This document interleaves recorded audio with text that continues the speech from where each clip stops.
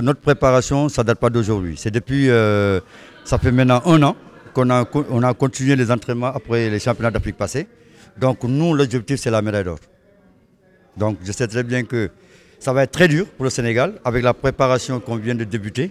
Normalement, on devait avoir une préparation d'un mois ou bien deux mois par rapport aux autres pays africains, comme le Maroc, la Tunisie, l'Égypte. Mais on n'a pas ça. Mais il faut toujours croire en soi. Aller plus loin, moi je me dis tout simplement, si on doit aller au Maroc, c'est pour avoir la médaille d'or. On a cinq combattants. Donc il y a un cadet, un junior et deux seniors.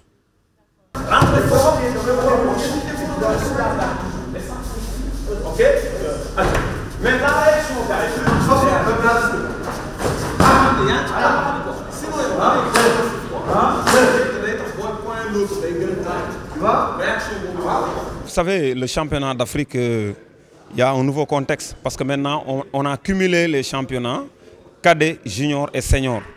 Du coup, nous, on se prépare avec une équipe qui compose toutes ces catégories-là, tout en sachant que le Sénégal n'a pas les moyens pour amener toutes les catégories. Parce que si vous prenez uniquement le combat, ça fait 29 catégories. Donc nous, on se déplace avec, pour le combat, on se déplace avec 11 combattants. Donc, mais il y a deux cadets euh, dans l'équipe. Il y a un junior, plus maintenant les seniors. Voilà, donc maintenant les objectifs, c'est qu'il y a le championnat du monde euh, au mois d'octobre à Hongrie. Donc on est dans, cette lancée. Également aussi pour nos cadets, c'est des jeunes qu'on va suivre pour, euh, pour les JOJ 2024 au Sénégal. Donc ça concerne les moins de 18 ans. Du coup, on a des cadets qui vont intégrer maintenant le ranking mondial et on va essayer de les suivre pour, pour la préparation de ces JO.